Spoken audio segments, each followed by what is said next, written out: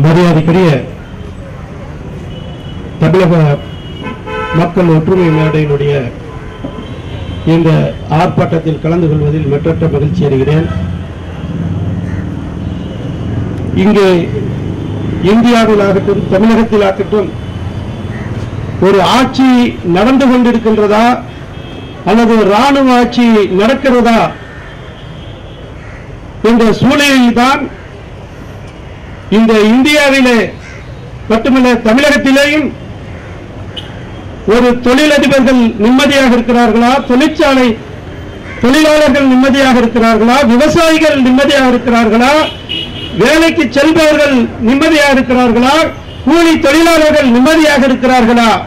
கடந்த நான்காண்டு காலத்திலே அனைத்து தரப்பினுடைய மக்களையும் அவர்களுடைய அடிப்படை ஆதாரங்களை நசுக்குகின்ற ஒரு அரசாகத்தான் இந்த பாசிச பாரதிய ஜனதா ஆட்சி இந்திய மக்களை போட்டு நசுக்கிக் கொண்டிருக்கின்றது நான்கு பணக்காரர்களுக்காக. தமிழகத்திலே இருந்து தூத்துக்குடியிலே நடந்த சம்பவத்தை ஜெனீவாவிலே பேசினால் விமான நிலையத்தில் வந்து இறங்குகின்ற போலவே கைது செய்யப்படுகின்ற அவலமும் இங்கே நடக்கின்றது. இது பேச்சுரிமையும் நம்முடைய உரிமைகளை தட்டி கேட்கின்ற பொழுது ஒரு மக்களால் தேர்ந்தெடுக்கப்பட்ட ஆட்சி இங்கு நடந்து மக்களுடைய கருத்துக்களை பேசுவதற்கு அதற்கு கைது செய்தால் பரவாயில்லை. ஆனால் மக்களால் தேர்ந்தெடுக்கப்படாத பாரதிய ஜனதா கட்சியினுடைய மத்திய அரசினுடைய கைப்பாவையாக செயல்பட்டுக் கொண்டிருக்கின்ற இந்த பழனிசாமியினுடைய அரசு ஜெயலலிதா இருந்திருக்கிறார்கள். கலைஞர் கருணாநிதி அவர்கள் இருந்திருக்கிறார்கள். எத்தனையோ போராட்டங்கள் நடந்திருக்கின்றது. ஆனால் எந்த ஒரு தலைவர்களும் பேச்சு பேசுவதற்காக தங்களுடைய கருத்தை சொல்வதற்காக சிறைகளை அடைக்கவில்லை. அவர்கள் போராட்டம் செய்து பாலங்களுக்கு வெடிகுண்டு வைத்து அல்லது வேறு விதமான அராஜகத்தை செய்தால் இந்த கைது நடவடிக்கை ஈடுபடலாம். ஆனால் பதிமூன்று பேரை காக்காயை சுடுவது போல சுட்டு அந்த போலீசினாரின் மீது நடவடிக்கை எடுக்க வேண்டும். தமிழகத்தில் சரியான மனிதநேயம் நடக்கவில்லை என்று ஜெனீவாவிலே பேசுகிறார்.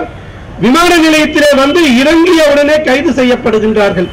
சட்டக்கல்லூரியிலே படிக்கின்ற மாணவி இந்த அரசுக்கு எதிராக குரல் கொடுத்தால் உடனடியாக கைது.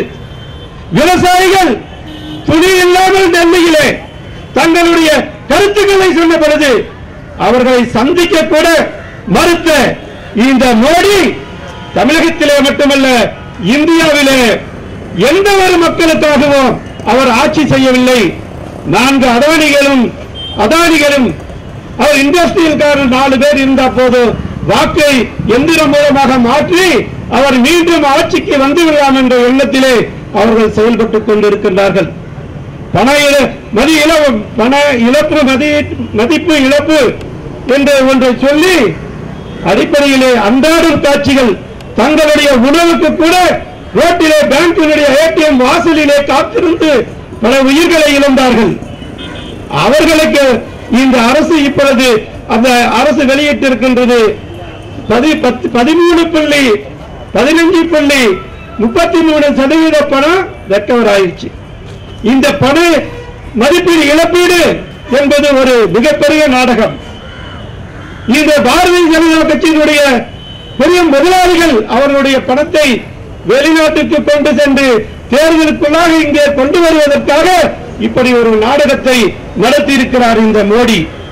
அது மட்டுமல்ல ஒரு கருத்துக்களை நீதிமன்றத்திலே அவர்களுடைய தலைவருக்கு எதிராக நீதிபதி சொன்னால் அவர் மரணம் இதே இடத்திலே அதற்காக நாம் கூட்டம் போட்டு பேசியிருக்கிறோம்.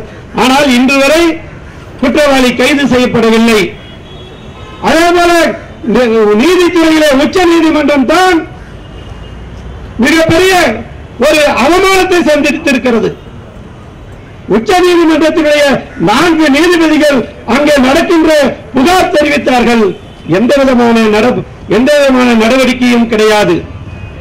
ஒரு கிறிஸ்துவ நீதிபதி தன்னுடைய பதவி பெறுகின்ற பொழுது பிஜேபியுடைய அரசு சொல்வதற்கு மாற்று கருத்து சொன்னதினால் அவருக்கு அந்த பதவி உயர்வை வழங்குவதற்கு கூட மறுத்ததன் காரணமாக அது சட்ட ரீதியாக இரண்டு முறை ஜனாதிபதிக்கு சென்றால் அவர்கள் போட்டாக வேண்டும் என்ற சூழ்நிலையிலே அவர் உச்ச நீதிமன்ற நீதிபதியாக நியமிக்கப்பட்டிருக்கின்றார் என்று சொன்னால் நீதிமன்றத்திற்கு குரல் வழியை நசுக்குகிறார். மக்களுடைய குரல் வழியை நசுக்குகிறார்கள். தொழிலாளர்களுடைய குரல் வழியை நசுக்குகிறார்கள். விவசாயிகளுடைய குரல் வழியை நசுக்குகிறது. இந்த அரசு நமக்கு தேவையா? நம்முடைய கருத்து சுதந்திரத்தை மதிக்காத அரசு நமக்கு தேவையா? ஏழைகளுக்கு எதிராக செயல்படுகின்ற அரசு நமக்கு தேவையா என்று உங்களிடத்தில் வைத்து இதற்கு மிகப்பெரிய போராட்டம் நடத்த வேண்டும் என்று சொல்லி வாய்ப்பளித்தமைக்கு நன்றி கேட்டு விடைபெறுகிறேன். நன்றி வணக்கம். ஜெய்கின்